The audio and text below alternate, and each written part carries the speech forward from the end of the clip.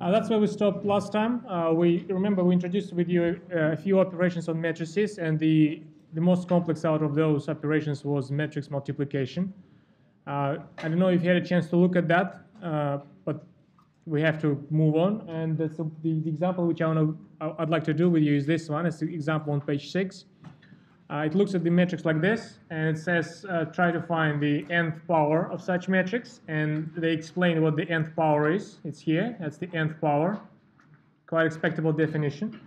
You might try to approach this question directly by just taking like a, well, if you don't know any other method, if, if I didn't know any other method, what I would have done probably, I would just multiply, like a, first I found a square, multiplying one with another, then I found a cube, make another multiplication, and then I would, I would, I would try to see any pattern in the results and see to try to guess whether we can uh, predict what the result in general will be. Uh, however, there is a very nice approach to this question, very effective one. It's based on, on our advanced experience with numbers. And that's actually, that's how mm, many things on matrices are done. You just try to uh, think of analogy with numbers, and then you try to see whether this analogy in fact works or not. So here, look what we're going to do. Uh, first, I'll tell you this. Uh, I'll take a special matrix like this. Look at this.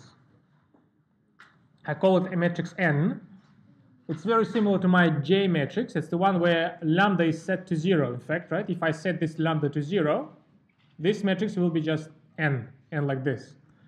And I'll make this observation that actually my J matrix this J matrix, it can be now represented with the help of this N matrix like this.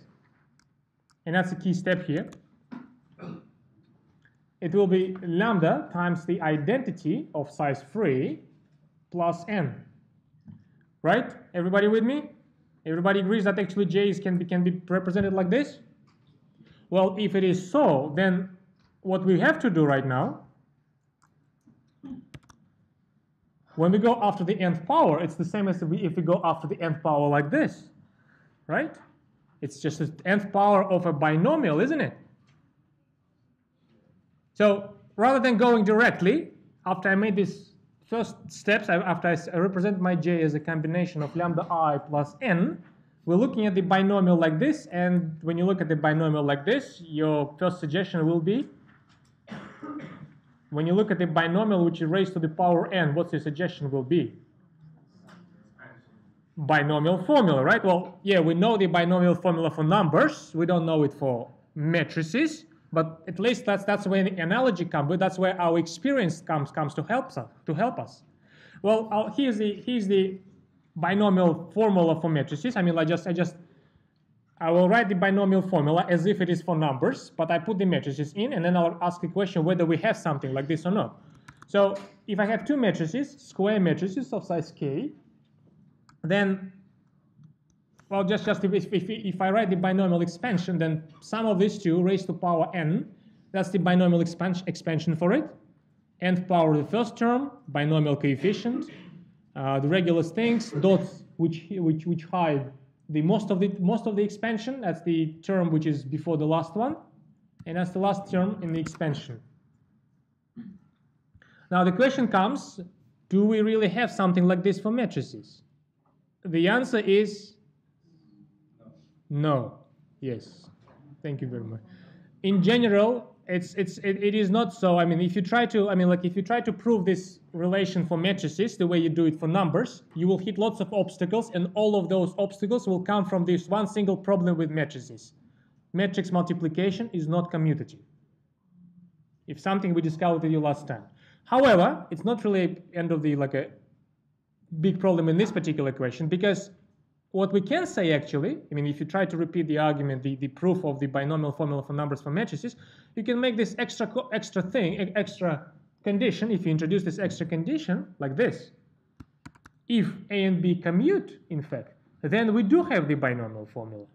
So if we have this extra assumption that A and B equal B times A, it's not always so. Not for every couple of matrices this is true. We saw an example last time. But if this is true, and that's something I claim, I'm, I, I, well, I just hide some details, but as long as you as long as you have this extra assumption that A, A and B commute, and that's the algebraic expression of two matrices being commute. If you, as long as you have that these two matrices commute, you can use the binomial expansion for these two matrices. There is a bit of an argument behind this single statement, but essentially this is just a repetition of the argument behind the numerical binomial formula. Because when matrices commute, they become like almost like numbers. Nothing stands in the way anymore. Now, the question, the next thing which I want to ask you now, do we have this extra condition for this couple of matrices? Well, of course we do. Because if you multiply n with the i with the identity matrix, that's just the nature of the identity matrix, the result will be n.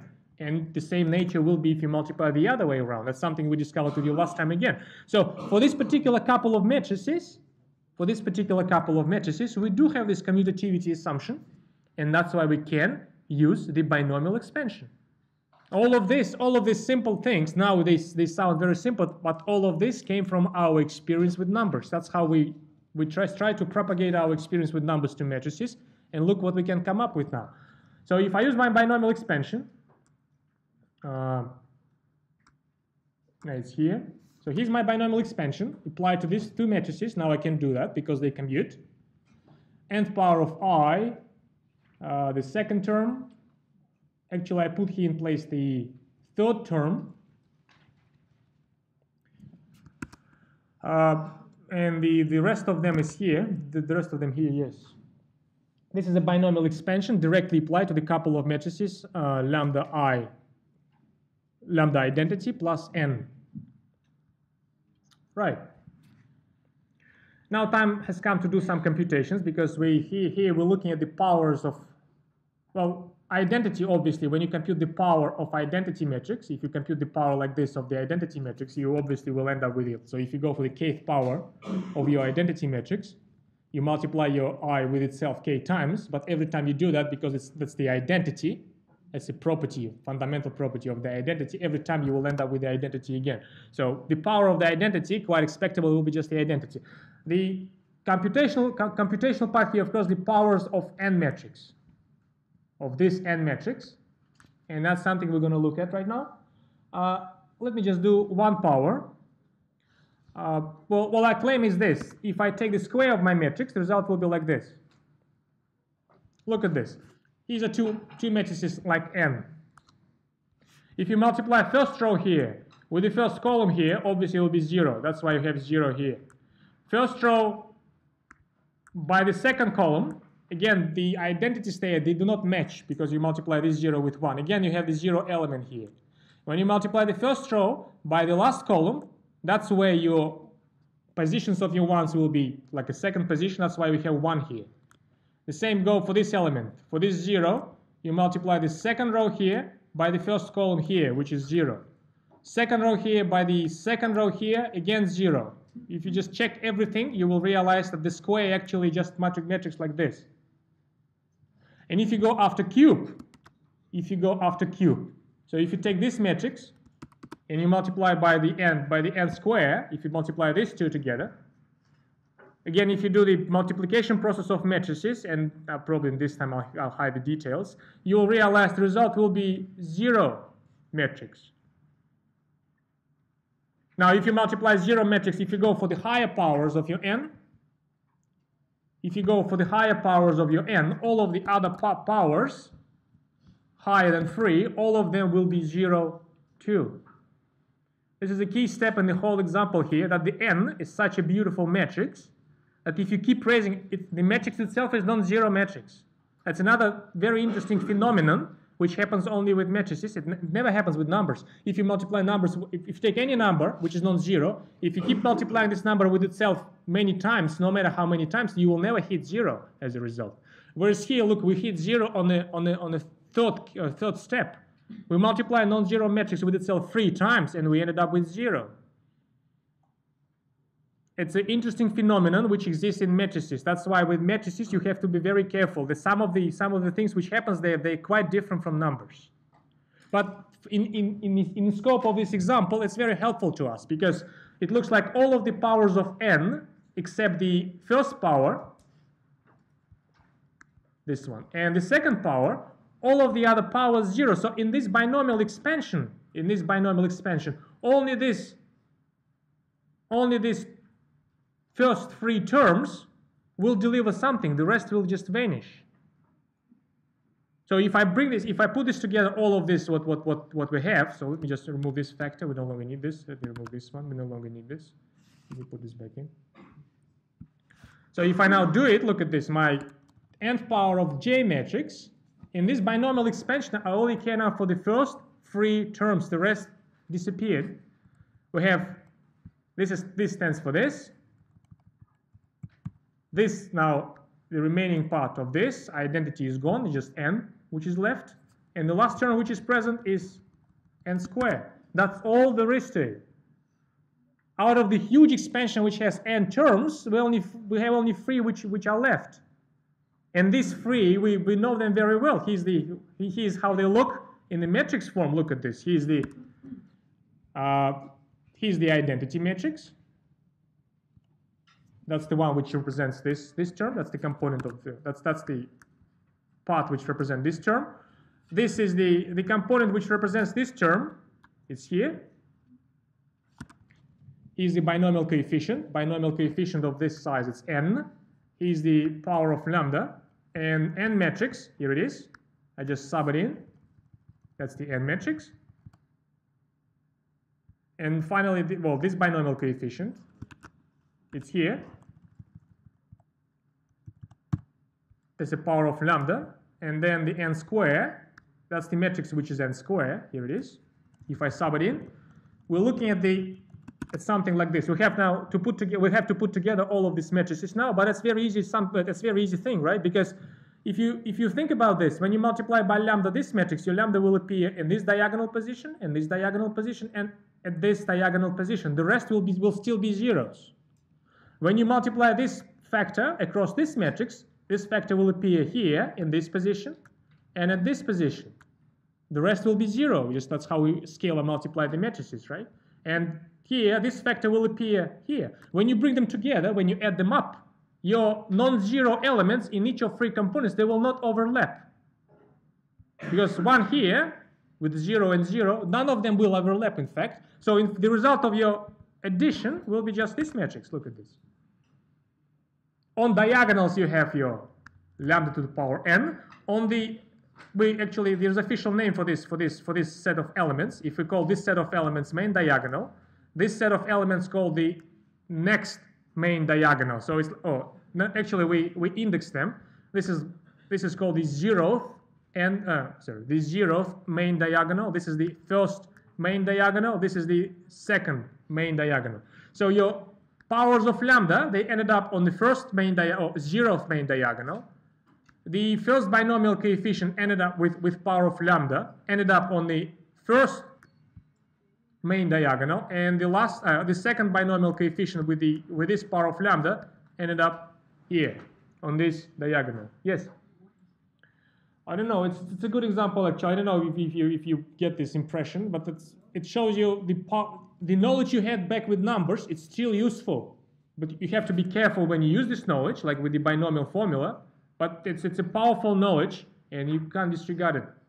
If you if you try to do this question directly, it's it's I don't know how to do it directly. But with this method, in fact, you can look at the matrices of similar type to J,